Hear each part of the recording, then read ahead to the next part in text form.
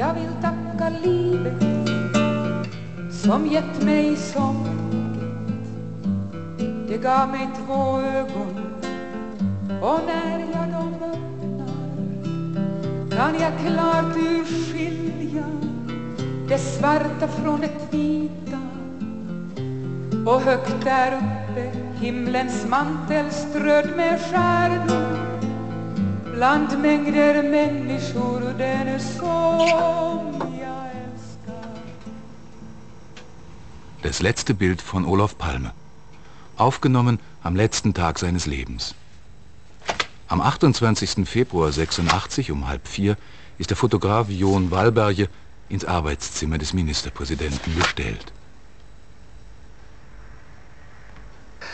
Eh, Ja, sen så eh, sa vi adjö. Ja, dann haben wir Tschüss gesagt mit einem Händedruck. Und dann sagte er, ich habe auf der Liste gesehen von denen, die damit nach Moskau fahren, da bist du auch drauf. Ja, stimmt, habe ich gesagt. Na, dann sehen wir uns in Moskau, wenn nicht vorher. Und dann sagten wir Tschüss. Gick. Und wie war seine Laune? Ja, er hatte sehr gute Laune, lachte und war richtig ausgelassen. Riktigt eh, uppspelt, skulle jag vilja säga. Rosenbad, Schwedens Regierungszentrale, ist in Freitagslaune. Olof Palme hat eines seiner wenigen freien Wochenenden. Um 17.30 Uhr macht er sich allein zu Fuß auf den Weg in seine Altstadtwohnung nach Gamla Stan, wie meistens. Die Berührung mit Menschen hat Palme nie gescheut. Personenschutz mag er nicht. Der enge ihn nur ein. Wer wollte, dem hat er seine Vorstellung des demokratischen Sozialismus erklärt. Und er, der Tür an Tür mit den Stockholmern wohnte, hat sie hier und da auch durchgesetzt.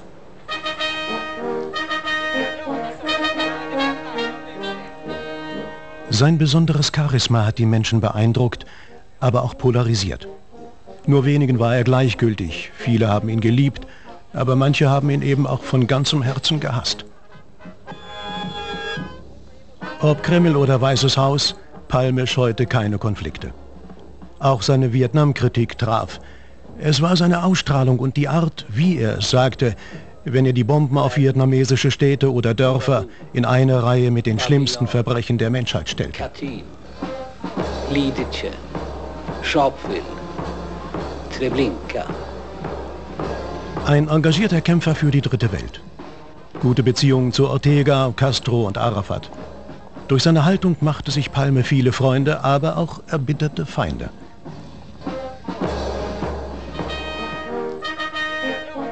So wird es eine Vielzahl von Spekulationen geben, wer hinter dem Mord stehen könnte. Mal ist es die CIA oder der KGB, lange Zeit sind es die Kurden, zwischendurch wieder verschiedene rechtsextreme internationale Kreise, dann wieder der iranische Geheimdienst, Apartheid-Anhänger aus Südafrika oder, und das wäre den Fahndern offenbar am liebsten, ein nicht politisch motivierter Einzeltäter.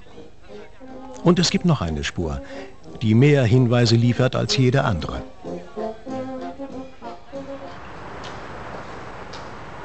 Der Abend bricht an. Die Palmes wollen ins Kino. Mit der U-Bahn und ohne Leibwächter. Um halb neun gehen sie los, gerade als Ulla Strömbäck zur Arbeit will. Och när jag kom precis här så hörde jag ett...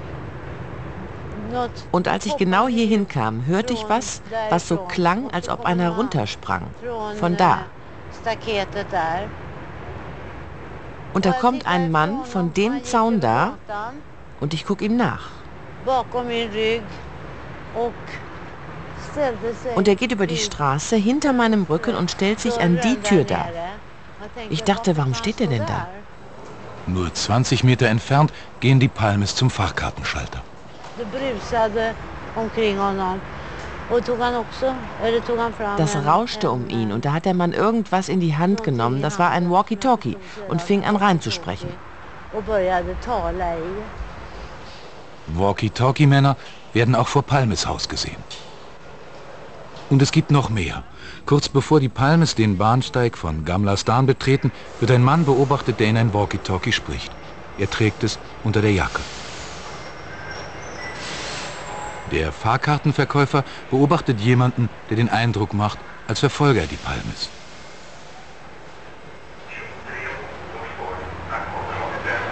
Und der Zugführer sieht zwei Männer. Sie folgen den Palmes in den Waggon.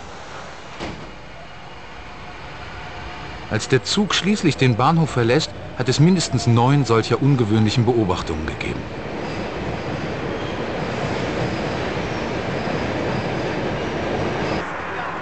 Das Kino Grand liegt am Sveawegen in der Mitte zwischen der zweiten und dritten Station.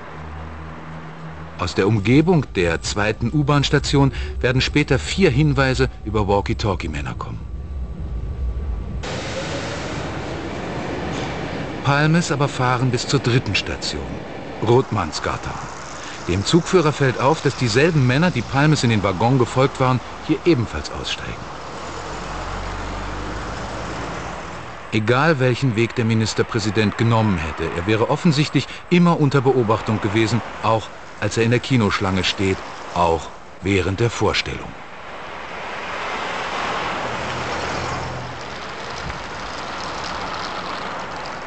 23.10 Uhr. Der Film ist zu Ende, Palmes wollen zu Fuß nach Hause. Nicht weit vom Kino wundert sich Suniva Telestan, dass ein Polizist nicht das Funksprechgerät, sondern ein Walkie-Talkie benutzt. Komisch, denkt sie sich und merkt sich die letzten drei Ziffern der Streife. 520. Dann hört sie die Worte, aha, dort drüben. Und der Wagen fährt, ja, rast davon.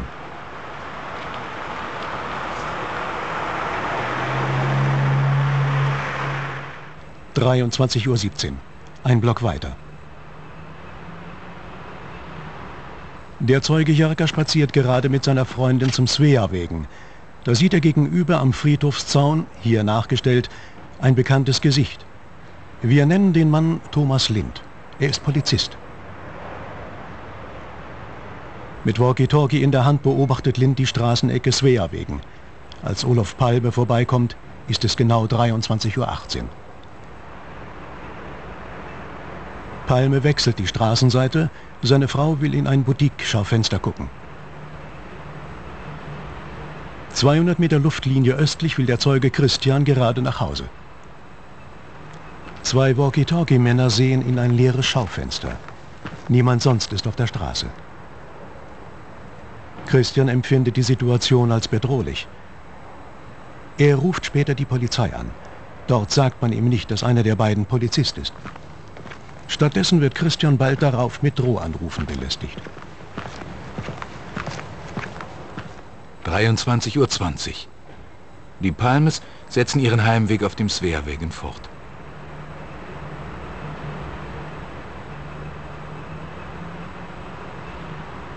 Es sind die letzten Meter, die Olof Palme gehen wird. An der Ecke Tunnelgatan kommt er am Farbengeschäft Dekorima vorbei.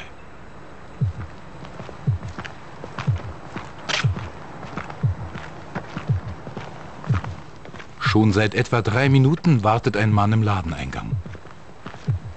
Es ist genau 23.21 Uhr. Palme ist gerade vorbei, seine Frau Lisbeth zwei Schritte weiter. Da tritt der Mann heraus und schießt zweimal. Palmes Hauptschlagader wird getroffen.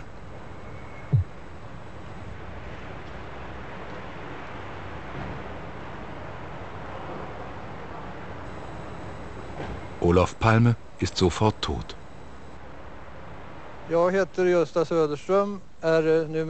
Ich heiße Gösta Söderström und bin mittlerweile ein pensionierter Polizeikommissar. Ich war der Einsatzleiter hier, als Olof Palme ermordet wurde. Mein Funkwagen stand da und hier lag Olof Palme. Um ihn herum standen etwa 10 bis 12 Personen. Zwei Personen versuchten ihn wiederzubeleben. Sie beatmeten ihn künstlich und massierten das Herz. Unter diesen Leuten hier war ein Mann, der schrie und zeigte. Da, da läuft er lang. Der Mörder flieht die 89 Stufen hoch zur Malmskillnadsgatan.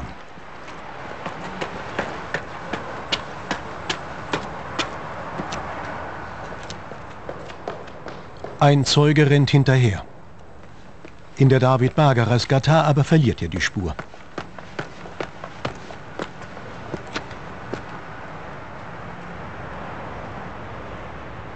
Die Straße ist menschenleer. Plötzlich kommen ihm Scheinwerfer entgegen. Eine Polizeistreife fährt langsam vorbei, ohne Blaulicht, ohne anzuhalten. Später wird sich herausstellen, dass auch die Nummer dieser Streife mit den Ziffern 520 endet.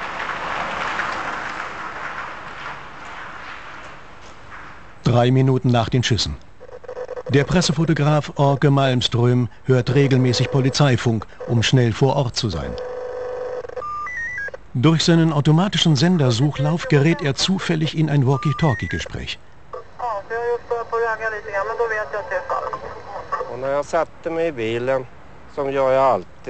Und als ich mich ins Auto setzte, habe ich wie immer mein Telefon und mein Funkgerät eingeschaltet. Und da habe ich dieses Gespräch gehört. Hallo da oben, wie ist es? Abscheulich kalt, antwortet eine andere Stimme. Dann wieder die erste, der Ministerpräsident ist erschossen. Und dann war überhaupt kein Ton mehr. Nichts mehr. Sprechfunk spielt in dieser Nacht eine wichtige Rolle. So werden weitere Walkie-Talkie-Männer gesehen, zwei sogar mit Blickkontakt zum Tatort.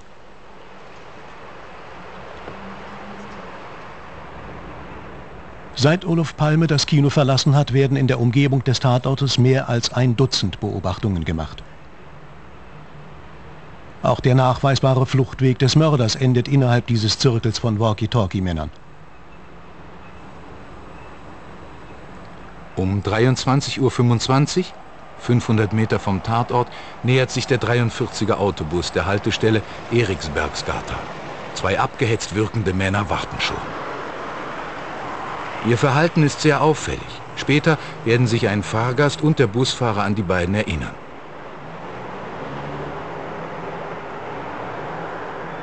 Es sind der Polizist Thomas Lind und ein Kollege Nils Holm, nennen wir ihn. Derselbe Thomas Lind, den Jerka sieben Minuten zuvor am Sveerwegen gesehen hatte. Die beiden gehörten Anfang der 80er Jahre zur sogenannten Baseball-Liga eine Spezialeinheit gegen Straßenkriminalität. Die meisten Mitglieder stehen politisch am äußersten rechten Rand. Wenn es um Anzeigen wegen polizeilicher Brutalität geht, gehören Lind und Holm zu den Spitzenreitern. Urteile aber gibt es selten. Der öffentliche Druck gegen die Baseballliga wächst.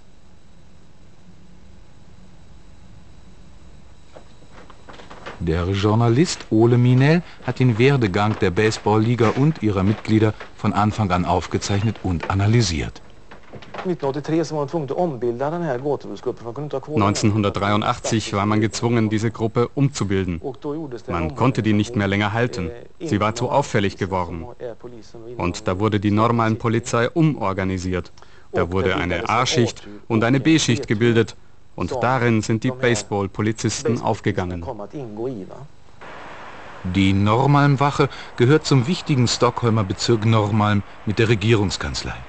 Ausgerechnet hierhin wechselten die wenigen rechtsradikalen Polizisten, die es in Schweden gab.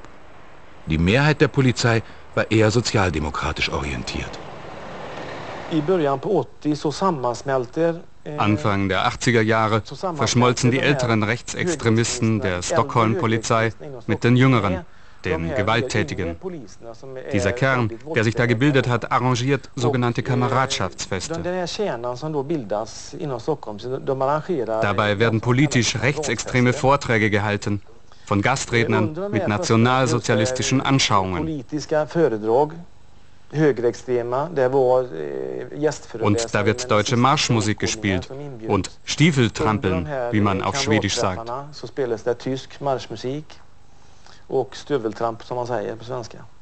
Auch der Hitlergruß war üblich. Wenige Stunden nach dem Attentat feiert die A-Schicht von der normalen Polizei ein Fest. Der Schichtleiter, so berichten Zeugen später, spricht einen Toast auf den Palmemord. Keiner distanziert sich. Der Schichtleiter selbst sagt, er habe nur auf die gute Arbeit seiner A-Schicht in der Mordnacht angestoßen. Gegen den Schichtleiter oder andere wird nicht ermittelt. Das Fest sei Privatsache gewesen, heißt es. Am Morgen nach der Tat macht sich der Stockholmer Polizeichef Hans Holmer selbst zum Fahndungsleiter. Er hat die Baseballliga gegründet und umgibt sich gerne mit deren Mitgliedern. Holmer rüstet sie mit Maschinenpistolen aus, deren Besitz in Schweden illegal ist. Sie wurden extra eingeschmuggelt. Seinen Fahndungsraum lässt sich Holmer mit schusssicherem Glas ausstatten, an allen zuständigen Stellen vorbei.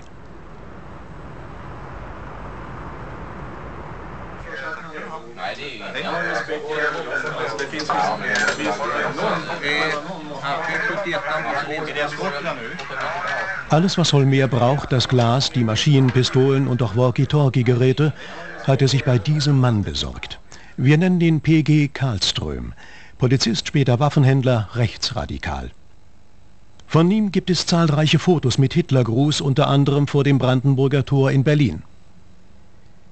In seiner Waffensammlung findet sich der Kugeltyp, mit dem Olof Palme erschossen wurde. Kurz zuvor am Blinddarm operiert, verlässt Karlström noch am Mordtag dieses Krankenhaus gegen ärztlichen Rat. In der Mordnacht hat er mindestens zweimal Kontakt zu einem Walkie-Talkie-Mann. In einer internen Aktennotiz der Fahndungsleitung heißt es, Karlström sei gefühllos, gleichgültig und durchaus fähig zu morden. Ein Büro seiner Firma liegt in diesem Eckhaus am Fluchtweg des Mörders. Hier, an dieser Stelle, glaubt der hinterherlaufende Zeuge den Mörder zum letzten Mal gesehen zu haben. Der zuständige Staatsanwalt sagt 1994, PG Karlström habe für die Tatzeit kein Alibi. Ermittelt gegen ihn wird aber nicht, weil er ja zur Tatzeit eigentlich im Krankenhaus hätte liegen müssen. Das Haus gegenüber. Auch hier standen zwei Walkie-Talkie-Männer. Hier wohnt ein Geschäftsfreund von Karlström. Mit ihm zusammen ist er Mitglied im sogenannten Verteidigungsschießverein. Björn Skugsfeld nennen wir ihn. Polizist, Schießlehrer, ebenfalls rechtsextrem. Schwärmt von Chiles Junta. Am Mordabend sitzt er im Mannschaftswagen 3230. Der gehört eigentlich nicht in den normalen Bezirk. Trotzdem hält er sich dort zur Tatzeit auf, wie er sagt, weil er seinen falsch geparkten Privatwagen wegfahren will. Er stellt aber sein Auto nur von einem Parkverbot in ein anderes. Sein Mannschaftswagen 3230 wartet währenddessen auf dem Fluchtweg am oberen Treppenabsatz mit gutem Blick auf den Tatort.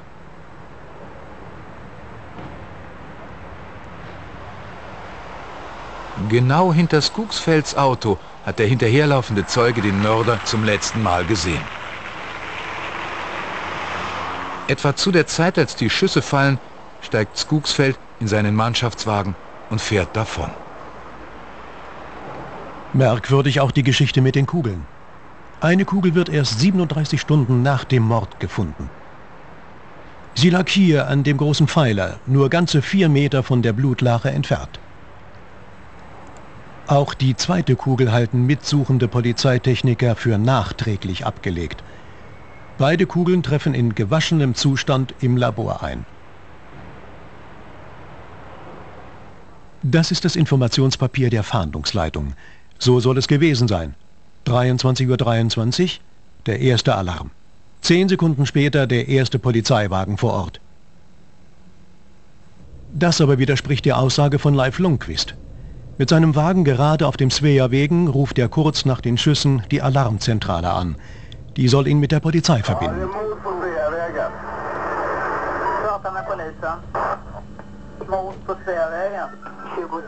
80 Sekunden hängt Lundquist in der Leitung.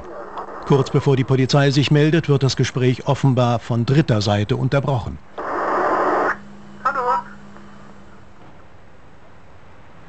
Der Sicherheitschef für den Telefon- und Walkie-Talkie-Funkverkehr der Polizei hat zusammen mit Karl Ström das Büro direkt am Fluchtweg des Mörders gemietet.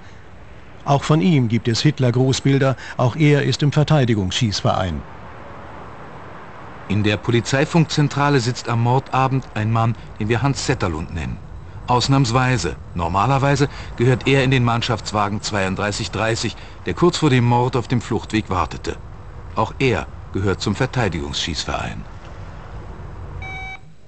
Alarmzentralanrufe haben erste Priorität, aber Setterlund kümmert es nicht.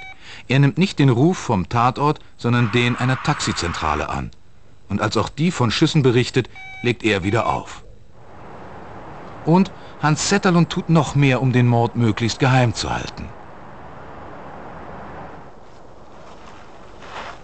Die Brüder Kari und Perti Putjain, zwei Informatiker, haben die Merkwürdigkeiten in der Funkzentrale untersucht und dabei auch mit Hans Zetterlund gesprochen. Äh, und dann alarmiert er auch keinen Krankenwagen, obwohl er weiß, dass ein Mann erschossen wurde. Führt kein Protokoll, obwohl er es muss, und informiert nicht den Schichtleiter. Die Alarmzentrale wundert sich, dass die Polizei noch keinen Krankenwagen bestellt hat. Die Rückfrage bei der Polizei wird aufgezeichnet. Wisst ihr denn noch nicht Bescheid? Nein, wir sind noch nicht angerufen worden, heißt es. Obwohl genau das vor zwei Minuten geschehen war und die ersten Polizisten doch laut Protokoll schon längst am Tatort waren. Und die Polizei tut immer noch nichts. Sie gibt zwar endlich Großalarm, aber der gilt nur einem etwas schlingernd fahrenden Volvo. Bei Verbrechen mit Schusswaffen muss Alarmstufe 1 gegeben werden, ständig wiederholt und ergänzt. Das genau aber passiert nicht. Der Mord am Sveavägen bekommt von Zetterlund die niedrigstmögliche von drei Alarmstufen.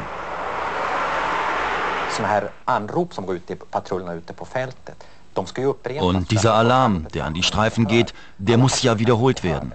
Für alle die, die den ersten nicht gehört haben oder ihr Funkgerät nicht anhaben. Und er wird eben nicht wiederholt. Und man geht dann sofort auf einen besonderen Kanal, sodass nur alle Streifen, die den ersten Alarm gehört haben, von dem Mord wissen. Das heißt, die meisten Streifen, die in der Innenstadt rumfahren, wissen gar nichts von der Sache mit dem Ministerpräsidenten. Ganz zu schweigen von den benachbarten Polizeidistrikten. Zollner zum Beispiel, zwei Kilometer vom Tatort. Da weiß man erstmal überhaupt nichts.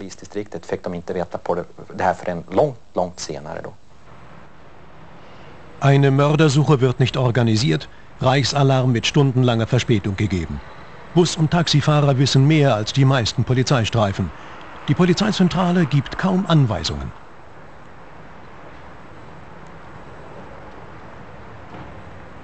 Gegen jede Vorschrift bearbeiten nur zwei Telefonisten diesen Mord. Die anderen acht beschäftigen sich seelenruhig mit Kleinkriminalität.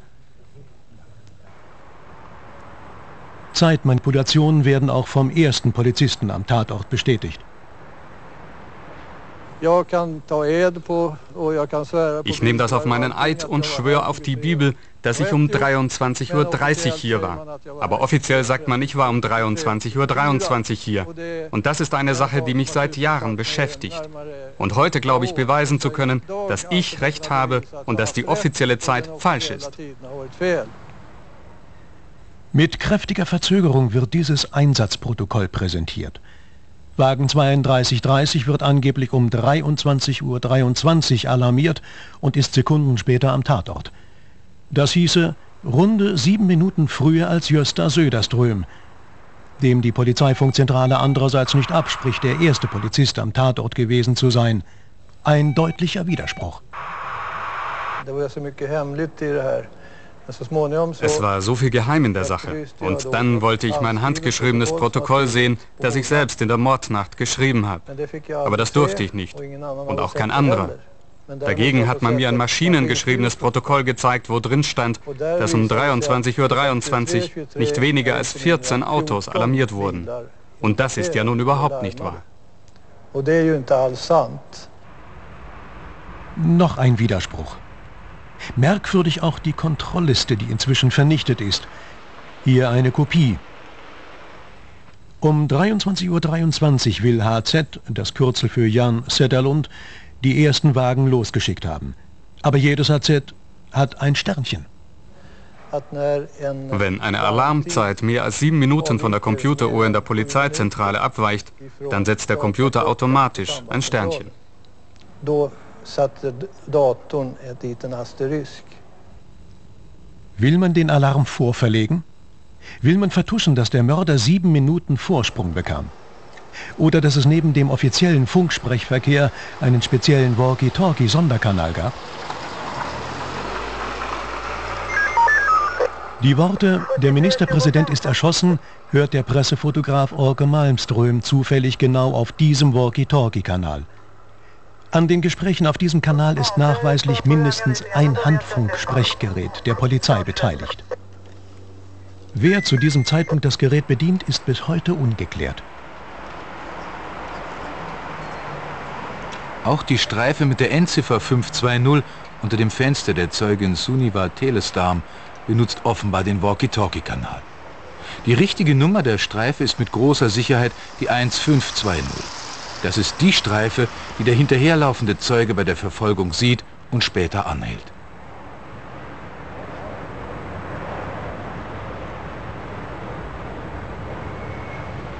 Er fragt die Polizisten, ob sie auch den Mörder suchen. Die sagen ja, obwohl sie zu diesem Zeitpunkt durch den offiziellen Polizeifunk vom Mord noch gar nichts wissen können.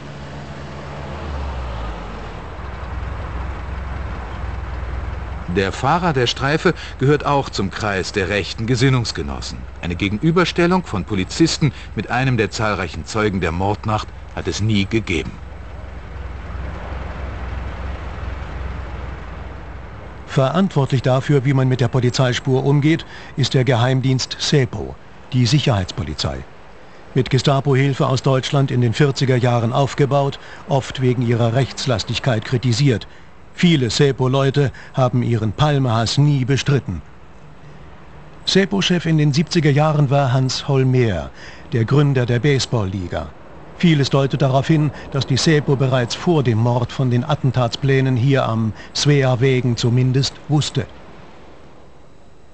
Die Polizisten jedenfalls werden vor der Polizeispur geschützt. Zeugen werden von Journalisten und nicht von Fahndern aufgespürt. Diese Zeugen werden nicht ernst genommen eingeschüchtert oder gar bedroht. Die meisten haben auch heute noch Angst. Eine Minute vor dem Mord. Zum Kamerainterview sind auch die beiden Zeuginnen nicht bereit, die dem Mörder kurz vor der Tat begegnet sind. Wir nennen sie Katja und Pyrjo. Sie haben ihre Geschichte dem Journalisten Ole Alsen erzählt. Katja und Pirjo har varit på bio på Kungsgatan. Katja und Pirjo waren im Kino auf der Kungsgatan, kommen hier lang. Katja fragt Pirjo, wie spät es ist. Pirjo hat ihre Uhr vergessen. Katja wendet sich an einen Mann, der da steht. Und gerade als sie ihn fragen will, wie spät es ist, da erkennt sie ihn.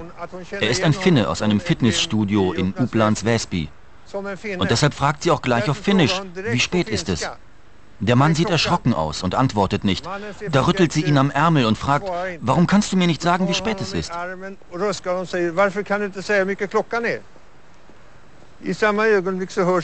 Der Mann steht so da, mit gekreuzten Armen. Und dann hört man einen Ton. Dann hebt er den Arm ein bisschen und dann sieht sie, dass er ein Walkie-Talkie in der rechten Hand hat. Und als der Arm oben ist, sieht sie unter dem anderen Arm eine Waffe. Im Walkie-Talkie sagt einer, nun kommen Sie.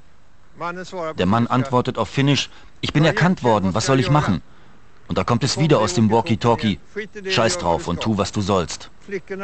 Die Mädchen sind verwirrt und aufgeregt, begreifen nicht, worum es sich handelt und gehen davon.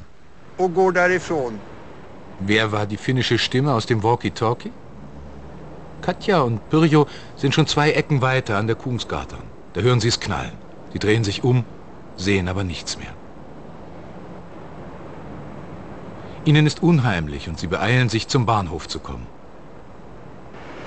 Mit dem Vorortzug fahren sie nach Hause in den Stadtteil Uplands Vesby. Dort erfahren sie am nächsten Morgen, was sich am Sveavägen abgespielt hat.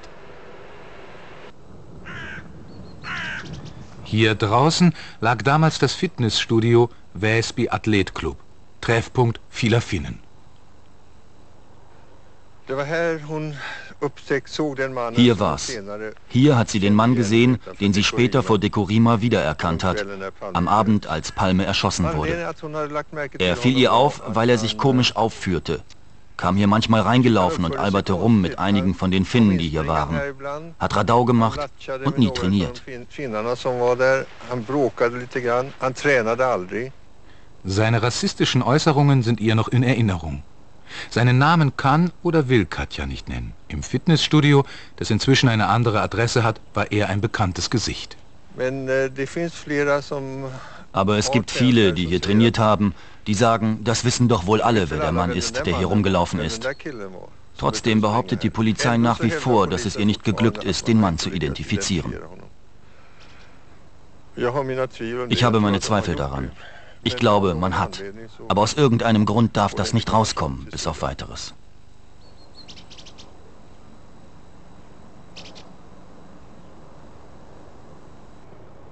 Am längsten hat Hans Oelvebro die Fahndungsgruppe geführt. Neun Jahre lang. Seine Ausgangsannahme hieß, wir arbeiten unvoreingenommen mit einer Reihe denkbarer Motive. Die einzige Spur allerdings, mit der zu befassen ich mich weigere, ist die Polizeispur. Zu dieser Zeit war es so, dass wir unvoreingenommen herangegangen sind, weil wir noch nicht alle Angaben bearbeitet hatten. Aber wir sind inzwischen so weit gekommen, dass wir mit unserer Analyse sagen können, es hat keine Verschwörung gegeben.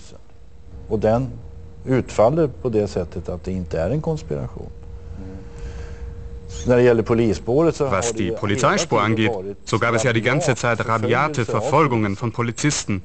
Und das waren ja unbegründete Behauptungen, die nicht mit der Wirklichkeit übereinstimmten. Wie aber erklärt sich dann das merkwürdige Verhalten der Polizisten in der Mordnacht und die Manipulationen in der Funkzentrale? Ich soll nicht untersuchen, wie Polizisten aufgetreten sind. Ich soll Olof Palmes Mörder festnehmen. Einen Zusammenhang zwischen dem Olof Palme-Mord und seinen Polizisten sieht er nicht? So wie Schweden eine gute Demokratie ist, so haben wir eine gute Polizei, die auch demokratisch ist. Die halbe Polizei ist sozialdemokratisch. Glaubst du, dass wir, die wir demokratisch sind, unseren Ministerpräsidenten ermorden würden? Wir sind doch da, um die Gesellschaft zu schützen. Ein Mitglied der Palme-Fahndungsgruppe gehört auch zum Verteidigungsschießverein.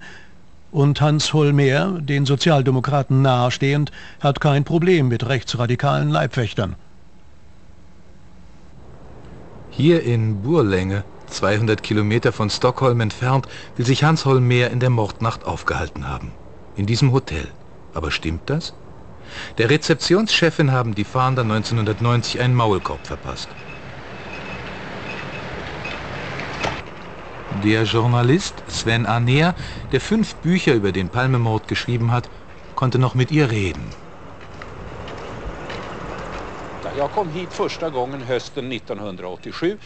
Ich bin im Herbst 87 hier gewesen, bei allen Hotels. Niemand hatte Hans Holmer als Gast.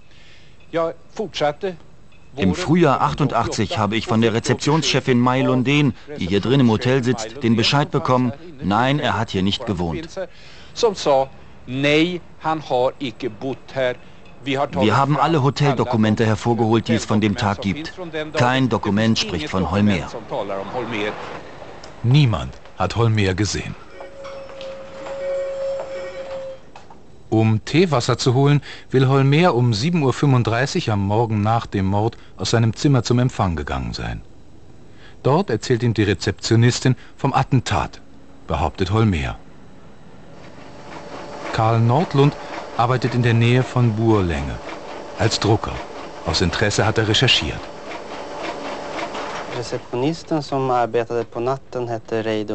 Die Rezeptionistin, die in der Nacht arbeitete, heißt Reidon Andreasson. Die konnte ganz klar sagen, ich habe Hans Holmer nicht gesehen. Auch die Teewassergeschichte kann nicht stimmen. Man konnte Teewasser bestellen bis 7 Uhr. Aber nach 7 Uhr, als Hans Holmer hier gewesen sein will, da war der Frühstücksraum schon geöffnet. Da holt man das Wasser nicht mehr an der Rezeption. Um Holmers Burlänge Aufenthalt dennoch zu stützen, werden nachträglich Kopien von Hoteldokumenten vorgelegt. Aber sind sie wirklich echt? Auf dem Anmeldeformular fehlt der Ortsname Burlänge. Das Formular kann aus jedem anderen Hotel der Scandic-Kette stammen. Auf dem Eurocard-Abschnitt stehen die Initialen einer Hotelangestellten, die gar nicht im Dienst war. Und schließlich die Hotelrechnung, auch ohne Ortsnamen. Abreisetag statt des 1. März einen Tag zu früh, am 28.02., am Tag des Mordes. Die Frage bleibt, wo war Hans Holmer in der Mordnacht? Im Stockholmer Polizeipräsidium sehen ihn Kollegen, als er bereits in Burlänge eingecheckt haben will.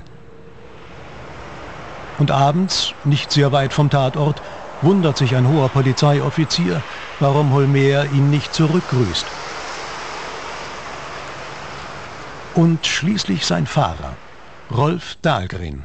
Er hat Elitesoldaten als Fallschirmspringer ausgebildet und später als Polizeiinspektor die Spitzen aus der Politik und vom Geheimdienst SEPO chauffiert.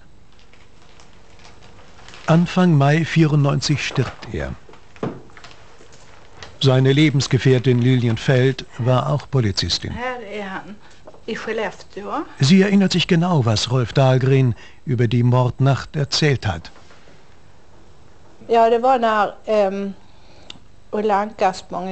ja, als Ulla Ankersbong, eine Juristin aus Göteborg, und ich Rolf besucht hatten, stellten wir ein paar Fragen zum Palmemord. Und da erzählte Rolf, dass er und Holmer sieben Minuten nach dem Mord am Tatort waren. Auch Kommissar Söderström bestätigt die Aussage, dass Holmer sieben Minuten nach dem Mord am Tatort vorbeifährt.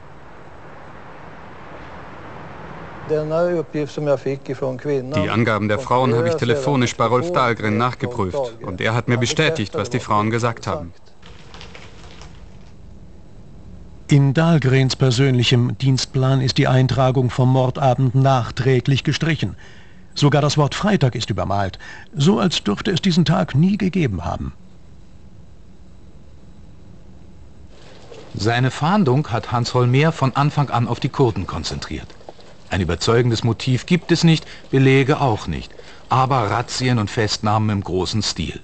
Die notwendige Zustimmung der Staatsanwaltschaft kümmert ihn nicht. Seine Durchsuchungsbefehle schreibt er sich einfach selbst. Holmers Polizeikarriere war eng verknüpft mit der Sozialdemokratie und wäre unmöglich gewesen ohne die Unterstützung des innersten Parteikreises.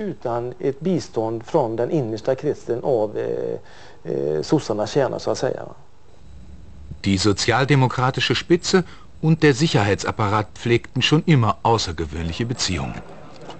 Der neue Regierungschef Ingvar Carlsson stützt Holmer zunächst. Als die Kurdenspur nicht mehr zu halten ist, muss Holmer gehen. Von da an hat man sich auf den verrückten Einzeltäter festgelegt. Die Polizeispur war immer tabu. Wer fürchtet eine intensive Untersuchung innerhalb des Sicherheitsapparates? Fast scheint es, als gäbe es eine allgemeine Furcht. Die Aufklärung des Palmemordes könnte die schwedische Gesellschaft in ihren Grundfesten erschüttern. Die Medien stellen auch keine Fragen. Eine Ausnahme machen dabei die Fernsehsendungen des Lars Borgnes. Er hat sich intensiv mit der Palmefahndung beschäftigt. Warum ist die Polizeispur ein Tabu?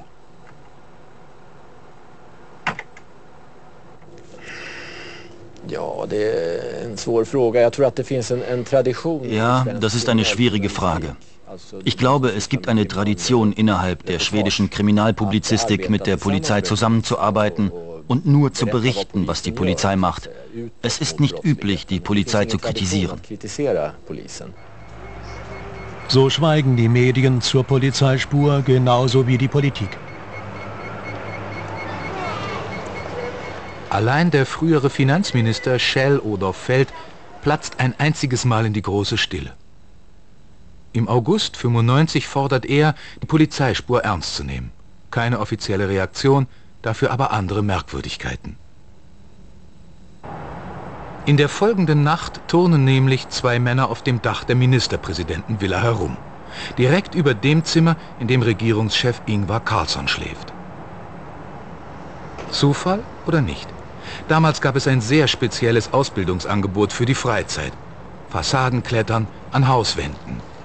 Veranstaltet von einem, der Mitglied des Verteidigungsschießvereins, der Baseballliga und des Fitnessstudios in Uppland Väsby war. Zuständig für die Bewachung des Olof Palme-Nachfolgers ist der Geheimdienst SÄPO. Doch ein privater Wachschutz bemerkt die Kletterer und alarmiert später die Polizei. Die Männer die Carlsson so nahe kommen, werden zwar vorläufig festgenommen, ermittelt wird aber nicht. Einen politischen Hintergrund streitet die Polizei ab. Warum lässt die Säpo Carlsson so ungeschützt? Nur sechs Stunden später eine eilig einberufene Pressekonferenz. Der Ministerpräsident kündigt überraschend seinen Rücktritt an, wie er sagt, aus persönlichen Gründen. Erst die Forderung, die Polizeispur ernst zu nehmen, dann die Männer über dem Schlafzimmer, jetzt der Rücktritt. Alles innerhalb weniger Stunden. Ein eventueller Zusammenhang wird von vornherein ausgeschlossen. Auch seinen Nachfolger hat Carlsson noch nicht geregelt. Vor lauter Überstürzung informiert er seine Stellvertreterin Mona Salin erst am Morgen der Pressekonferenz. 1996 scheidet Ingvar Carlsson aus. Der neue Joran Persson, ebenfalls Sozialdemokrat, verfolgt einen Kurs, der noch weiter weg ist von Palme als der des Ingvar Carlsson. Jag vill tacka livet som gett mig sång Det gav mig två ögon och när jag dem Im Juni 99 wird ein Bericht fertig, an dem eine angeblich unabhängige Kommission jahrelang gearbeitet hat. Aufgabe war, auch die Polizeispur von allen Seiten auszuleuchten, mit den besten Analytikern des Landes.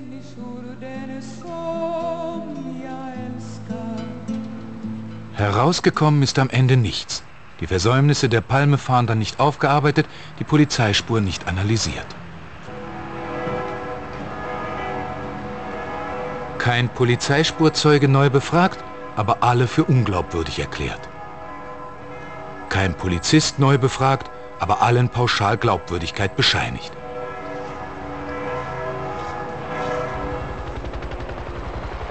Ein wenig überraschendes Ergebnis. Die Polizei selbst hatte die Untersuchungsakten ausgewählt und die Kommission beraten.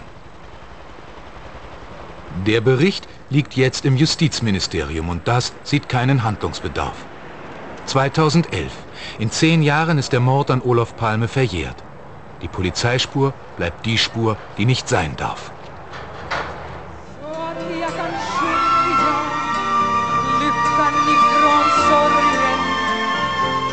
De två ting som mina mina era sånger och alla sånger som är samma sånger och mina sånger som era sånger och alla sånger som är samma